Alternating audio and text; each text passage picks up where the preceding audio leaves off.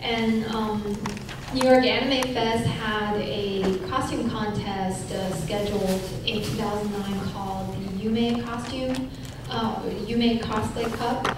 And uh, it was a craftsmanship and presentation-based contest, and the grand prize was a trip to Japan, um, as well as a $1,000 shopping spree in Japan.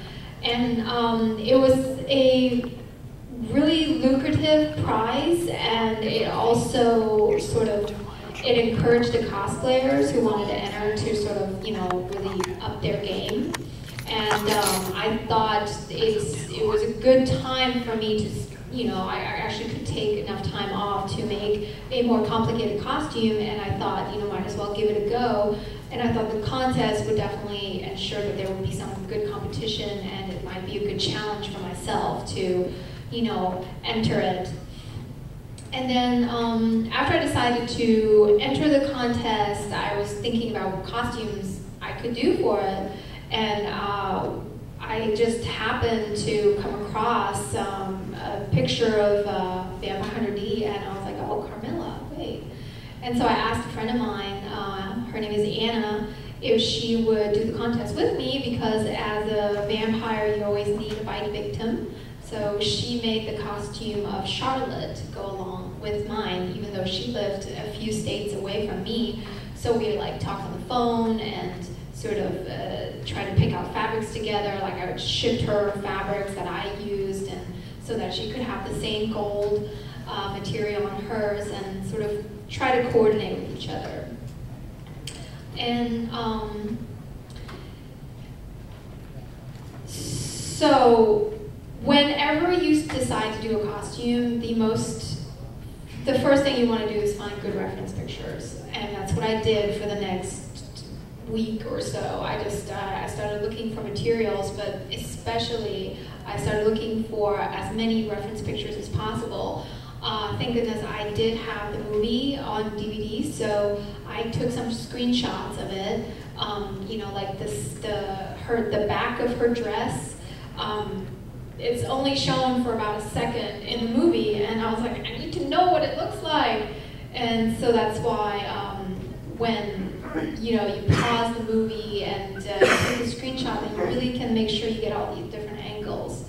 Um, it was always like it was always kind of frustrating if like you wanted to do a costume from say the new Final Fantasy or something, all you see is the concept art, and you just get the front, and that's it. So you don't know what the back looks like, and you have to kind of make it up. And then when the game comes out, and you do like, you know, you see all the angles, and you're like, man, I did that wrong, and I have to redo it.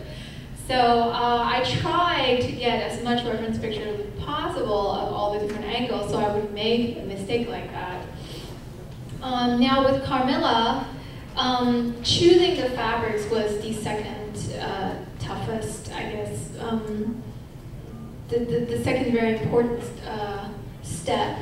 And you, what I wanted to do was to be very accurate to the character, but also to give the costume some more texture. Um, so I'll show you some pictures of the finished costume and then I'll go into um, how I made it. Um, so I ended up choosing velvet, uh, a Madonna velvet for the costume because I thought it was very luscious and very sort of luxurious um, fabric and also I like the way that velvet flows in photographs.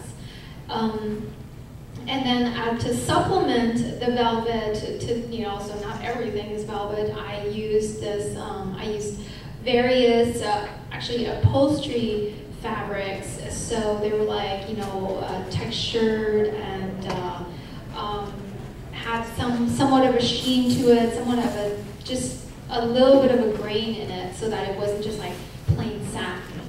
Um, to sort of give the costume extra layers. Um, so these are some of the pictures. You can see my friend Anna. This was us on stage.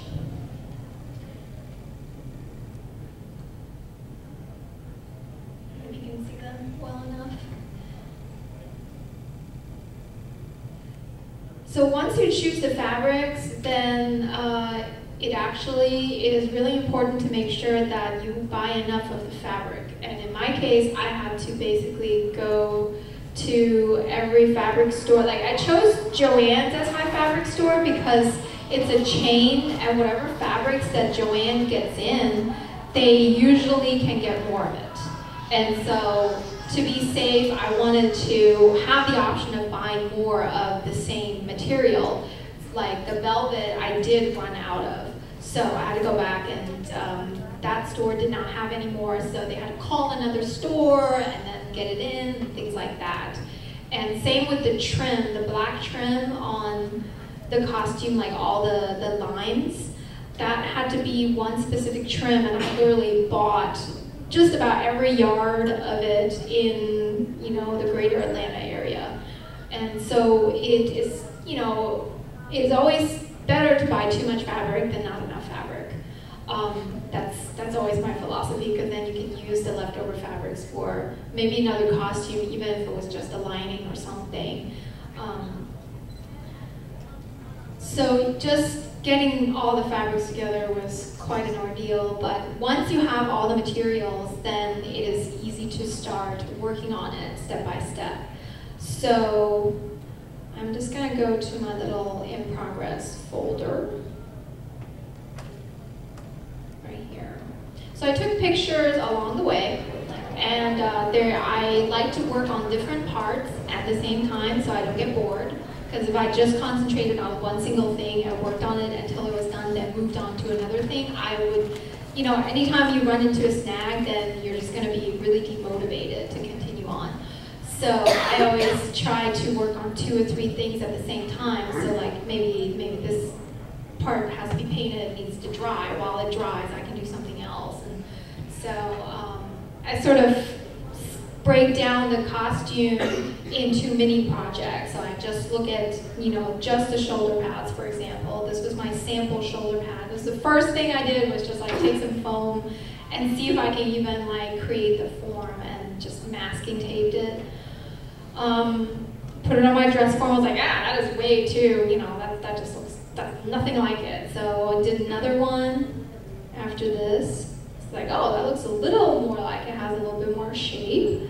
And um, I just hot glued it together, you know, just, just to see if I can even get the shape right.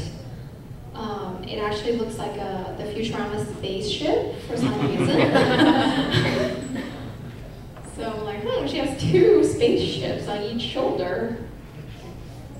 So, and then I was also um, sculpting out the, she has like a necklace and in the center it looks kind of like a scorpion that's been just poured, had, had gold poured all over it. So here's me trying to sculpt it out out of clay. Doesn't look like much right now.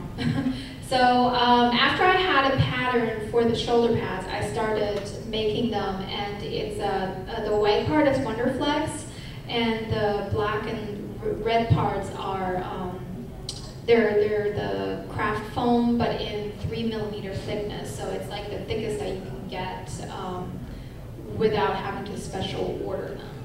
So all it is is just, I just hot glued it together, you know, half a piece. And then, and then I started covering it. So using the same pattern, I cut out the Donna Velvet and started covering all the different areas. And then, um, so the, the, it, it's like, it's an overlayer and then underneath is another piece. So that piece had to be gold, and then it had to have all the, uh, the lines, like the lines that they draw so easily in anime, but that I have to spend hours freaking sewing trim onto. Like, oh, thanks, designers. All you had to do is draw for three seconds, and that's like two days of my life wasted, you know, to try to re replicate it. So I measured it out and pinned it down, stitched it, you know, piece by piece, and you know, had it all like, had my measuring tape there, made sure it was fairly even. So I had to label everything because otherwise you'd totally forget. So after a while, when you had the cover, it started to take shape. Um, and I stuffed the inside with some batting just to make sure it held up a little better. So that, I don't even know how long that took. I think each shoulder pad took, I think the first one took me 20 hours or something. Just the, just the first one, just because I had to lay down the groundwork and do the patterns and, you know, figure out all the pieces. And then the, the rest of them went really fast because then she has the same, like similar types of pads on her hips as well, and those went really fast. So, um, and then after it was done, I was like, all right, well, I wanted to look fairly nice on the inside as well. I didn't want to just to be a mess of fabrics. So then I, um, I, I, stitched it all together and then I uh, put felt on the inside and very carefully whip stitched around and cut it off as I went along. And this is what the finished shoulder pad looks like. different sides.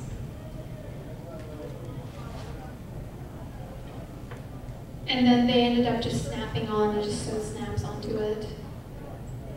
Okay, so now we move on to making the uh, sleeves. So the sleeves were just um, um, strips of fabric alternating in color and material, uh, sewn together, sewn together some more until I got a whole big um, piece of it. I did two of those. And then they were sewn into the into the sleeves. Here I am casting buttons because she has, like if I go back to my reference picture she has like these gold buttons or something. They look like buttons, like all over her outfit. Just it here. So back here in the front, and then there's some on her hips, and you know, so I was like, ah, gold buttons. I could just do a plain gold button, or I could cast a button with a design on it and sort of have a little bit more, you know, oomph to it, a little bit more of a realistic aspect. So I found this button with a lion on it, and I made a uh, made a silicone mold and then cast it out of plastic. So here are many of them. And then they just got pinbacks. I just um, I just glued pinbacks onto them after painting them gold. I think I made 16 or so. Here are just the patterns for the front of the bodice. Like she has like this round part in the middle. And so I just made it, I made just it's better to make it too big and then go, you know, cut down than not have it big enough. Like she has right here. See, it's hard to see. The, the reference is really difficult to see on this costume, but in the front she has like this weird part. So, and um, I, I had duck cloth on the inside, and uh, on the outside, this is actually lining, so it's like a nice little, I forgot even what fabric I used for it. It wasn't really a satin, it was some kind of a polyester as the lining. And then um, I duplicated it in velvet. In here, I'm stitching things together. So then I got kind of bored doing that, so I went on and started making the skirt pieces. And again, I had to uh, use the black trim that I bought um, probably 80 yards of, something like that in the end, um, and had to cut them up and diagonally stitch them on, measuring along the way.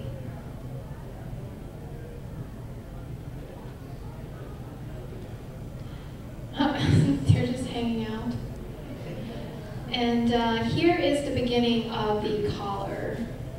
Um, it's wire frame with Wonderflex stretched over it. And that was an evening of fun, heating Wonderflex, stretching it over wire, burning myself along the way, and trying to somehow make the shape fairly three-dimensional. And I sized it to my shoulders, and it turns out that my shoulders are uneven. Like I need to go to a chiropractor or something. like if putting it on the mannequin. It's like it's not even, but when it's on me, it actually is. So I'm like, I need to go to the chiropractor. I'm like, probably walk around like this or something. It's the years of costuming and wearing wings. I'm telling you. Um, here, it, like basically after the Wonderflex was put on, then I layered it with a thin layer of uh, batting so that it would sort of get rid of the roughness, and then stretch satin over it. And of course, I couldn't sew it, so I had to very carefully glue it down, because of course with the wire frame, you can't throw that in, in the machine. Here is putting steel boning into the bodice. Um, I label all my boning and I cut them accordingly. And um, it just, it, I wanted to, to, the bodice to have enough structure to hold itself um, up because the front was completely open, so I didn't want it to just be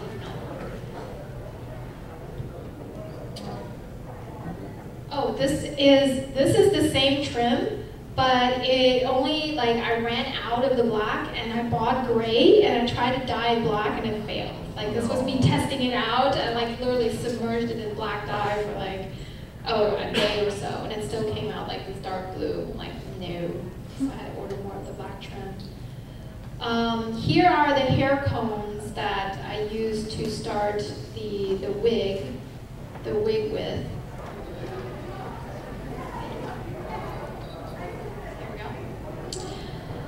So just as, you know, hair combs that you get in Joann's.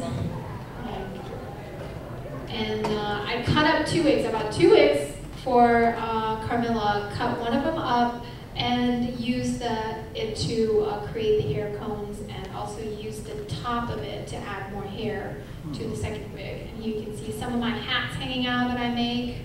And then Mr. Bubbles, because I need a bubble bath after, you know, a hard day of work on costumes. I'm sorry, these pictures are like skipping back and forth. I think I just randomly tried to document everything every day.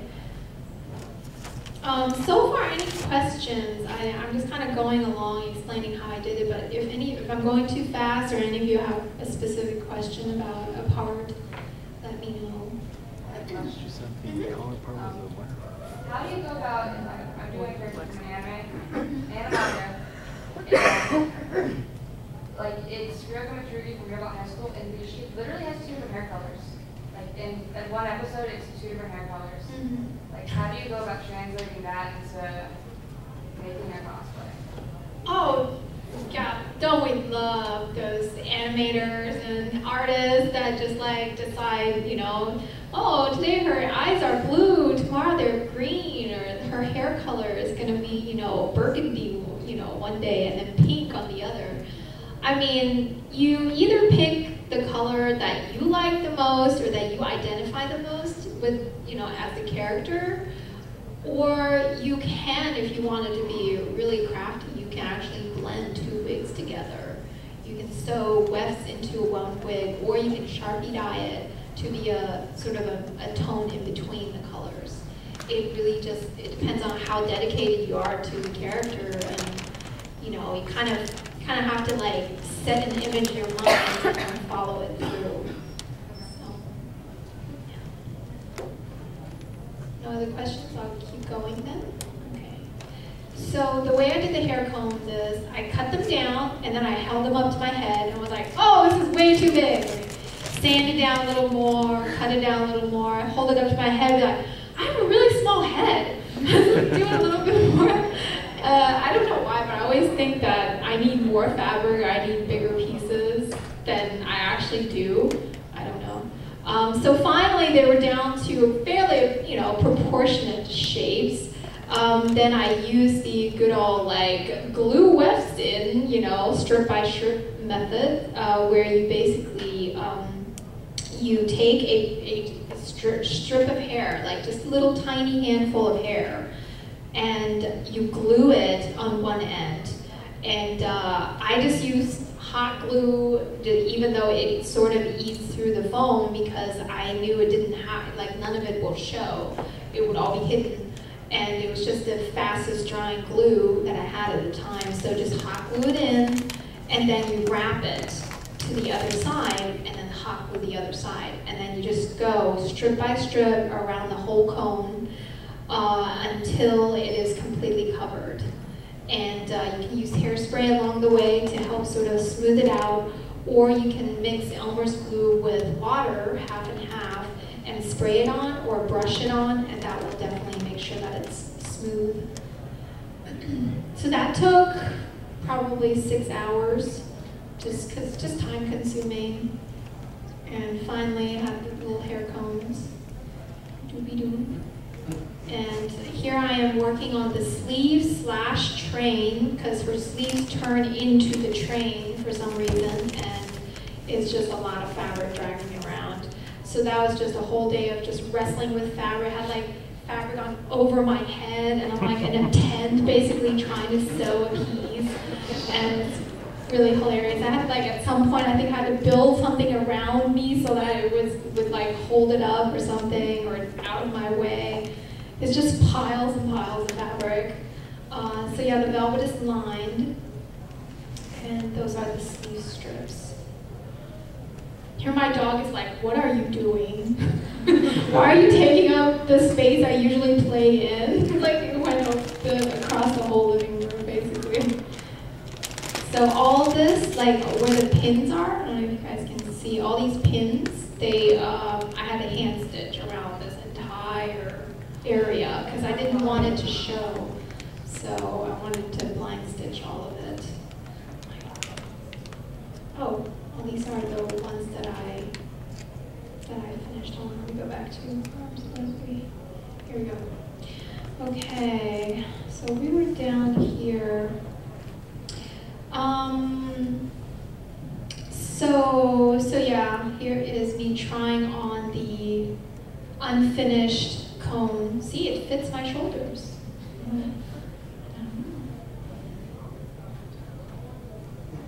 I'm like, yay, I think it works.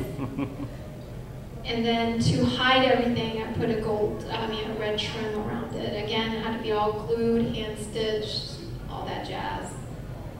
So it took a long time. oh, here we go. Here we have the wig. So this is what the wig looked like. This is the second wig, and the combs are from the first wig. So I just hand stitched with a with a curved needle. I stitched the combs onto the hair, I mean onto the, the second wig. And then I try to blend it. So I use the extra hair to blend into the cone. So I like take a little bit and then glue it here at the ends, right here. And so that it end up looking more like it came from the head as opposed to just a complete different piece uh, sewn on. So use that to blend it in on the back as well. And then I went to make the hairline because I thought Carmilla has such an interesting, like you see her jagged hairline. Like that is so cool, and that's kind of really part of her character and makes her look very, you know, menacing. And I just, I did not want to have just a round hairline. I was like, I, I need to do something about that. So um, my plan was to um, make a hairline by using Elmer's glue and water, like I said before, and uh, basically just soaking strips of fabric. And here you can tell how many strips. That's like, I don't know, what, like 20, over 20 strips of fabrics. Um, soaking them into just a fan shape and then cutting out the, um, the hairline shape. And I have a, I think I used a foam, just a craft foam backing where I held it up to my head and sort of, and you can see, sort of figure out, you know, where, how even like how long it needed to be, what kind of a curve, curvature it needed to have. And uh, the trick with this is just to wait for like a day. After you soak it in the Elmer's glue, just wait a whole day and leave it alone, let it dry completely, and then you can manipulate it. Here we have more, more things being sculpted and cast. So I sewed the hairline onto the wig. And now that looks ridiculous. and then uh, very carefully I started blending it. Let's see, I don't have a picture of that. You know, I just ended up blending it in and cutting it and just making it look good. Like sometimes you like you can't even describe what you're doing. You're just like, I'm just trying to make it work. And like later on, like you work for 18 hours straight, and afterwards you don't remember what what you did, but it works, and you're like, okay. So here we have the, I believe that's the scorpion piece. Yeah, that was the scorpion piece being um, molded, and then the necklace pieces. And here is the mold for the uh, gold, how would you say it, the hair accessory for this part, basically, for these parts. That's also being molded. And then I tried to paint it various different ways and failed a couple times. uh, here I'm finishing the finishing the uh, bodice. Um, oh, and the what, what ended up working with the the hair piece. This piece is just acrylic paint because acrylic paint is flexible. Like I tried to spray paint it, and because it's made out of a rubber, uh, urethane rubber, it you know the the rubber stretched around to make a cone, but the paint didn't, so it started flaking. So with acrylic paint, the paint itself is flexible. So if you ever have to paint anything that is you know, stretchy um, in any way, any rubbers, any foams, anything, try to use acrylic paint because it's going to be a lot more forgiving. So from here on, so much handwork had to be done because I did the cutout around the front and then the only way I could really line it up and make sure that it was even is on the mannequin because it just, I just did not want to take any chances of sewing something and then you know, messing it up. So I just sewed everything on, on the mannequin and I was like, you know, twisting over, trying to get to certain parts and it just like all this trim was sewn on by hand just, just because I just did not want to, you know, mess up for whatever reason. So there's the wig hanging out. So here is the wig with the blended pieces again, it's just, you know, I see I have the, spray glue, and then I have hairspray, and then I have all these random things. Um, then I had to fit those uh, end pieces onto her hair, which are, as you can see, she has like gold end pieces. So I just used the um, plastic, um, just the plastic globes that you can get at, you know, Michael's or Joann's.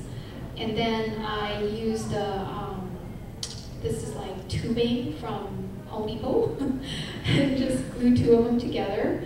Um, and then I had to, oh, here's the necklace pieces. I cast a bunch of them, just in case. Always cast extras. Hold on, I have a picture of that other piece that I was talking about. Here it is. So here, here are these that I'm working on. so because they have like a, a indentation in the middle, they look like bells actually, like big bells for some reason. Um, I I masked it off and drew where they need to be, and then I cut it just with a Dremel tool. See, it, looks kind of uneven, but then um, once you sand it down a little bit, kind of works. And then I put a piece of foam on the inside just to, you know, fill it in. And here you can see the beginnings of her earrings, which are just wooden sticks glued together with more wooden balls. See, just earrings. These, this was just very last minute. This is the one piece that I wish I had done in plastic, but ended up just doing out of foam. It's the front, I don't know, cloth piece. I don't know what it is. it's just really weird. Um, oh, these are like the little things that are on her armpits for some reason. She has like just little things on her armpits. Um, those were for her hair. She had like little hair danglies. Um, oh yeah, I want to talk about the back. So the back is kind of interesting because I was trying to think how I wanted it to lace up. Like I definitely wanted to be able to cinch in and lace up. So underneath you can see the uh, eyelets that I did. But then I devised a pattern for the outside that would Velcro over and appear as if it didn't have a seam. And the way, the, the reason I decided to do that is because if you look, there is a very distinct picture of her back. And she does not have a zipper, she does not you know, any lacing. There's like no, you know, you can't see how the costume gets on her. Like it's as if she just kind of magically, you know, shimmies into it. And uh, that doesn't work in real life. so I ended up just making um, a pattern for the outside that would Velcro shut and uh, be able to hide like all that underneath. So sometimes you have to sort of think outside the box and, you know, like do hidden panels and things like that to make something work, but it, it just all depends on how, I guess, how, how accurate you want to be or, you know, like do you really want like the lacing to show? Do you care if it shows? In some incidences, your hair will cover it because the character has super long hair, so it doesn't really matter. But I thought in Carmilla, especially for the stage, I wanted it to like be a 350 view. Um, and if you look at my pictures, I don't even know if I have a back picture, come to think of it. I spent all this time on the back, I I don't even know if I have a back picture of it. Oh. Yeah, these are all fun pictures. I did do a photo shoot at AWA and I haven't even gone through the pictures yet. So these are like some that I just, you know, these are friends that took them for us and uh, my friends uh, Chris and Janet from Florida actually did uh, D and uh, I forgot her name. What was her name again? Leila. Yes. Did uh, and so we did a photo shoot together, and that was really cool.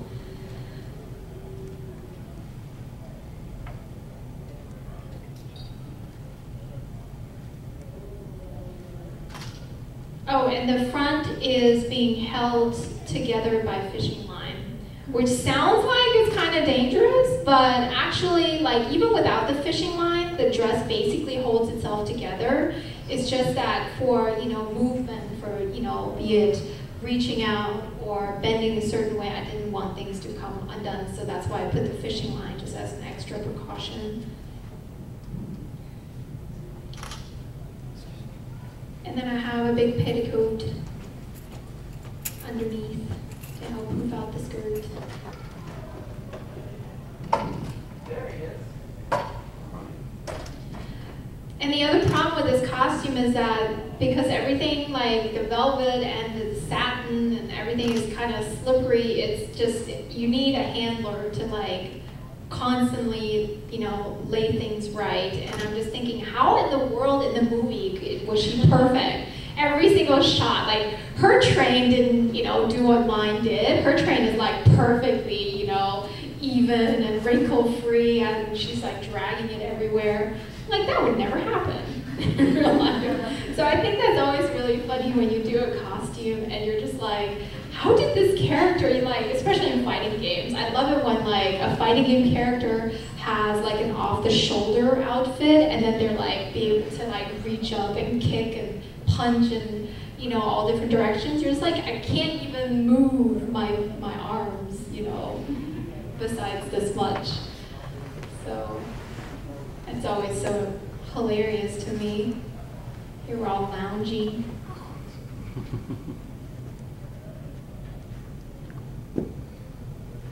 Let's see. I had to do some stairway shots. We're like, we found some stairs. Let's take pictures on it.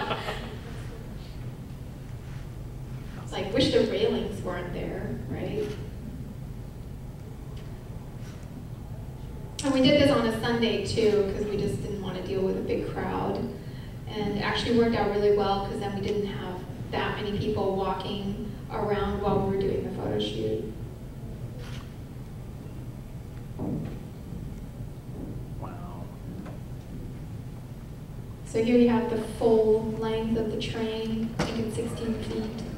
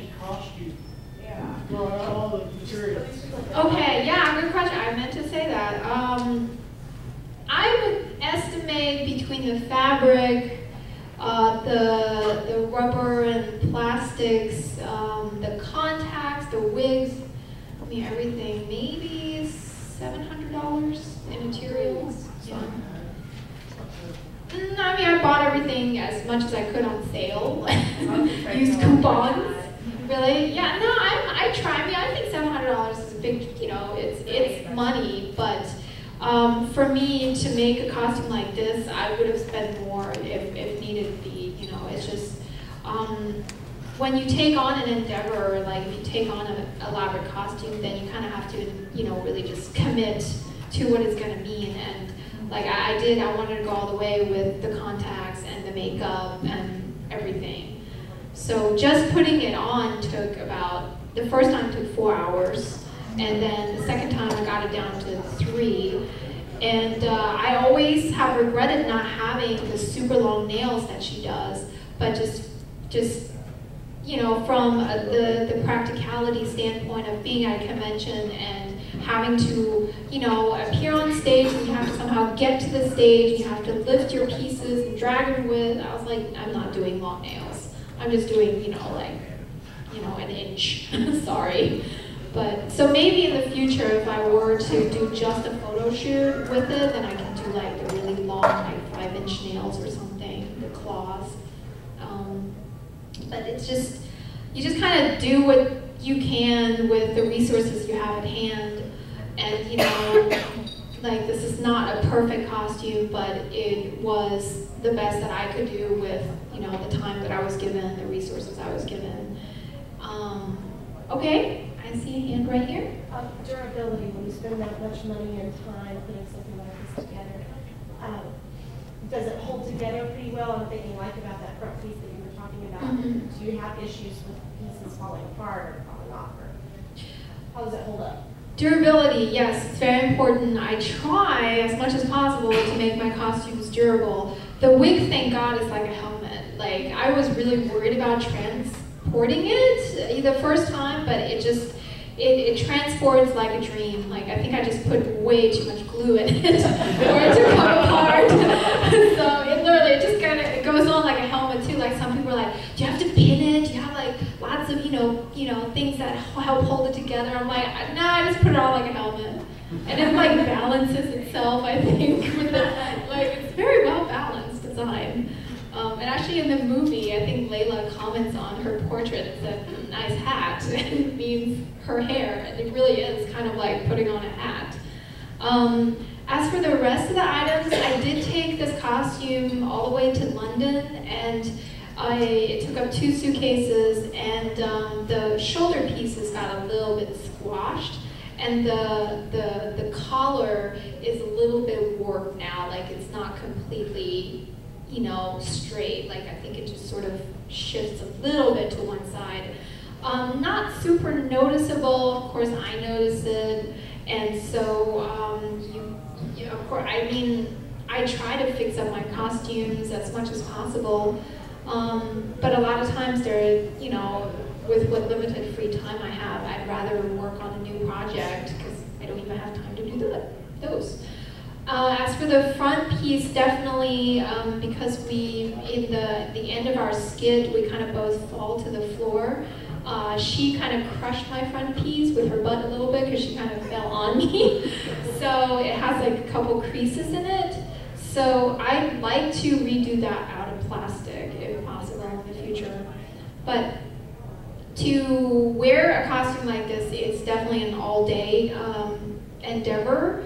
And after I wear it, I have to take a shower because I look absolutely insane. Like once I get out of it with the white and the crazy, you know, the crazy makeup. I mean, I just look literally demented. So like I have to completely, you know, take a shower and clean up. Uh, so the chances of this being brought out again, like maybe once a year, I'll wear this. So think about it. It's like it'll probably last like another few events. So.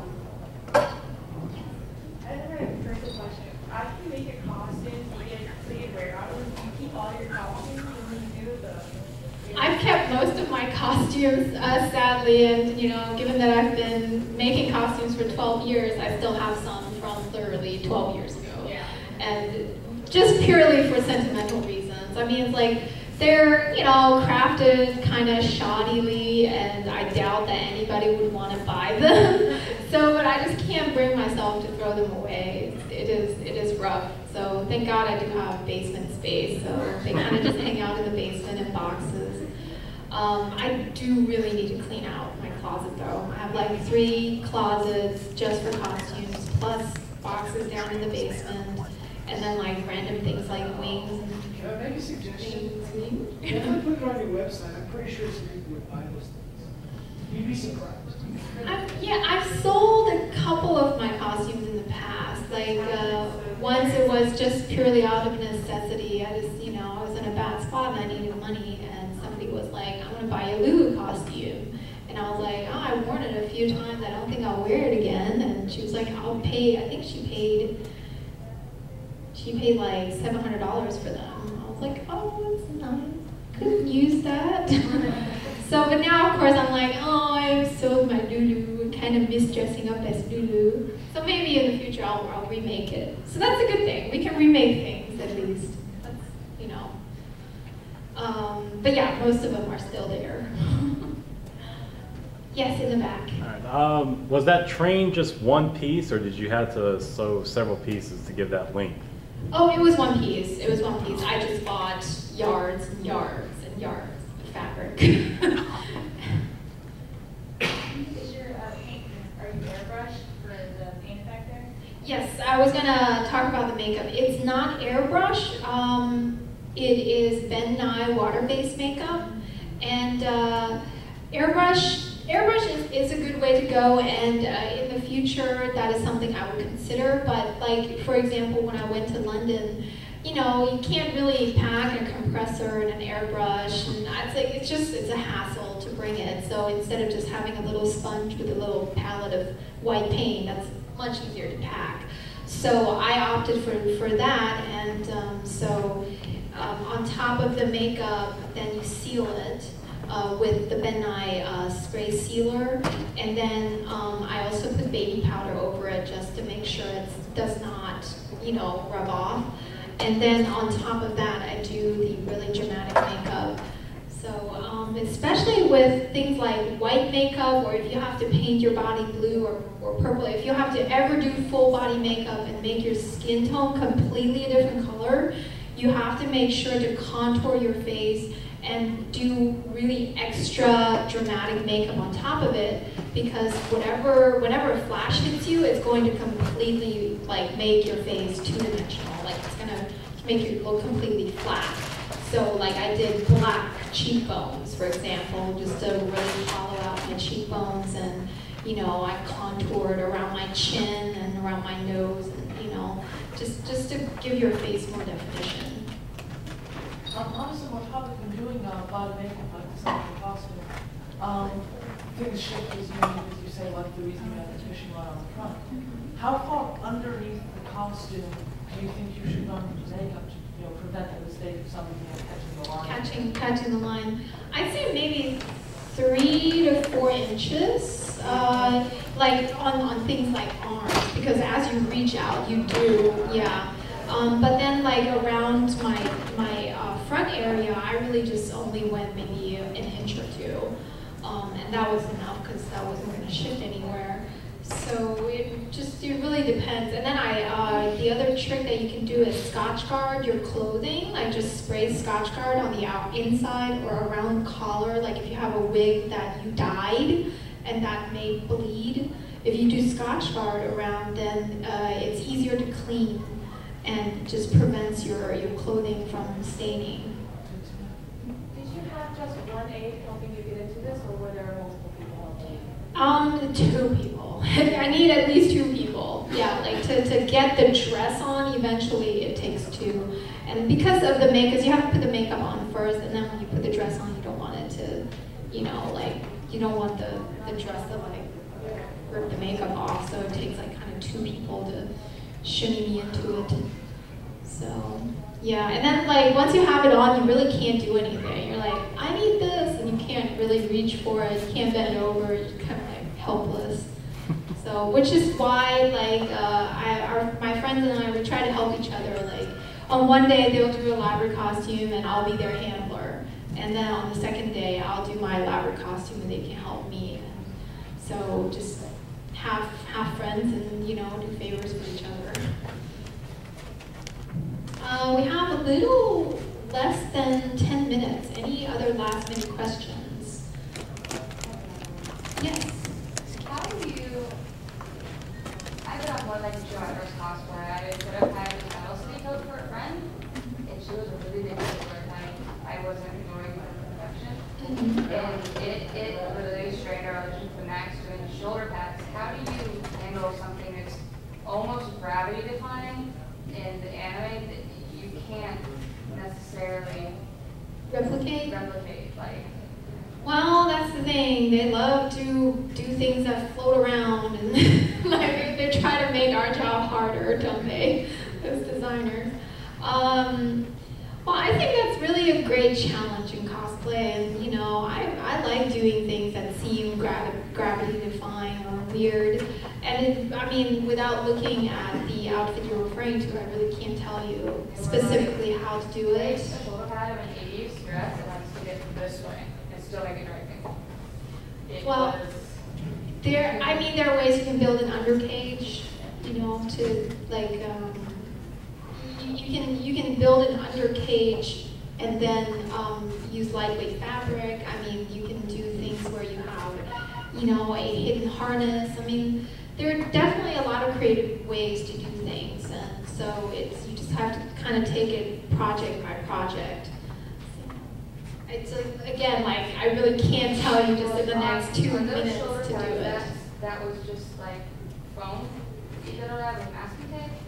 No, I, I hot glued foam and Wonderflex together because the Wonderflex was more durable, but the foam was light. Because I, I was thinking if I did the whole thing out of Wonderflex, it would be heavier and droop more. So I did half Wonderflex, half foam, and then the fabric's over it. And actually, I curved it. I curved it, concaved it in a way that just my shoulders would help hold it in the right shape. So it just it just worked out for me. But on a, another project, I may have to do something else to help hold it up. So where do you find that Wonderflex at? Wonderflex, uh, yes, Dazian.com, D-A-Z-I-A-N.com. They um, provide all sorts of uh, interesting, weird materials, and they do have it. Some certain stores in like, um, in, like for example, in LA, there's a store that carries. But uh, it just really depends. I mean, I, I we just order ours, you know, online. You just get a big sheet of it for about probably under thirty dollars. Yeah, under thirty dollars plus shipping. I've never really played with that much, but I've seen a lot of wigs on cons, and I hate plastic wig look. Yeah. I like the idea of doing like cosmic. So how do you get more realistic, like when they do color like the, the really like the yellow wigs that it's looking so plastic Well, um, I try to just uh, pick my wigs carefully. I like to buy wigs in person, but sometimes, sometimes you really can't, you know. And are you talking about um, the? Are you talking about the, the super shiny, shiny wigs?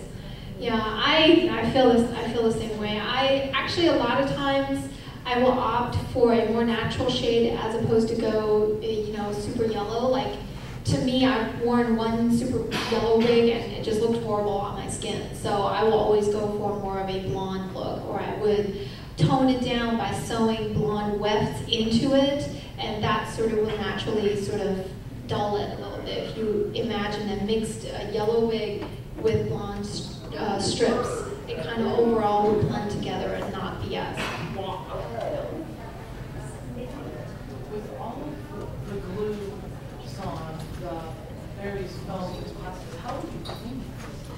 Uh, I just hand clean it. I, I, I don't even trust the dry cleaner to clean it. Like the train is Scotchgarded. Like the whole train, I just split it and just soaked it in Scotchgard, basically just sprayed the heck out of it. And so from that standpoint, it's it's okay. It's held up so far. But you know, I only have worn this, I believe, three times. So it's not super dirty yet. But then, yeah, I just I just hand wash it, like basically in parts, spot wash it, and just super carefully. So it, it is rough sometimes. You know, some costumes are just you know you really have to think of creative ways to keep them keep them clean. okay. Um, I had a suggestion for you for the nails. You said you wanted to be able to do something. Mhm. They make these nail covers that are supposed to be for when your nails are drying and they're nail shaped and they just grip onto your fingers individually. So you'd be able to slip them on and off. Really cool. And I mean, they're not that long, but you could probably make them longer. Okay. All right. So they're just uh, nail covers. Yeah. Okay, cool. Yeah, thanks for the suggestion. Yeah, I'll check it out. Any last minute questions? I think I, we have about three minutes. Um, anything you guys would like to know more about, or I hope it's been informative. yeah, I hope it's been informative. You know, um, yeah, sure. Uh, want to know about your bangs. You buy them? You file them yourself? Oh yeah, he, I bought them from this guy who like goes to cons and like custom makes fangs for people, and it's pretty awesome. Yeah, he like, yeah, yeah, like a Dragon Con, he's always there. Or what's the last convention? He was at MegaCon in Florida. Yeah, and so you know, I, I've had mine for a few years, and I actually need a new pair. So if I see him again, I'll be hitting him up. So it's pretty much well worth the money. Oh yeah, oh yeah, definitely. Especially if you want to like dress up as a vampire multiple times. that was my first time. It was actually kind of interesting because I, I hadn't gotten used to speaking with the fangs yet, so I was like half